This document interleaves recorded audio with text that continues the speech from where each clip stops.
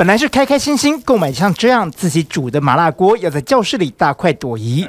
结果这几名大陆大学生说，汤还没滚，整锅热油却炸开了。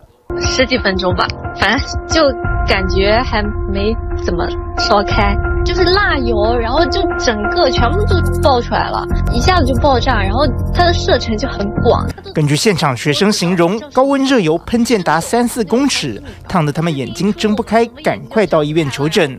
火锅爆炸听起来匪夷所思，但大陆海底捞随后澄清，从监视器画面来看，是学生们烹调步骤弄反了，才会酿成意外。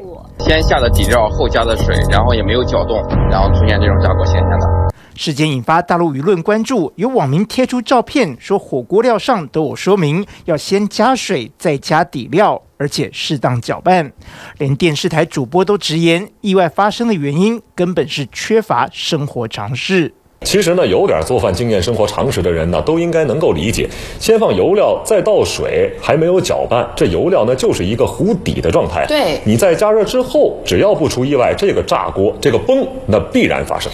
大陆海底捞近年来面临严重亏损，去年底还一口气关掉三百家店。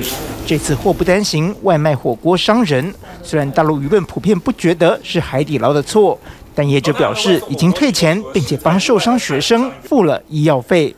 TV 新闻严瑞生、庄志伟综合报道。掌握全球情势、国际新闻，全新选择 YT 频道 TVBS 国际 Plus，扩大视野。欢迎订阅并开启小铃铛。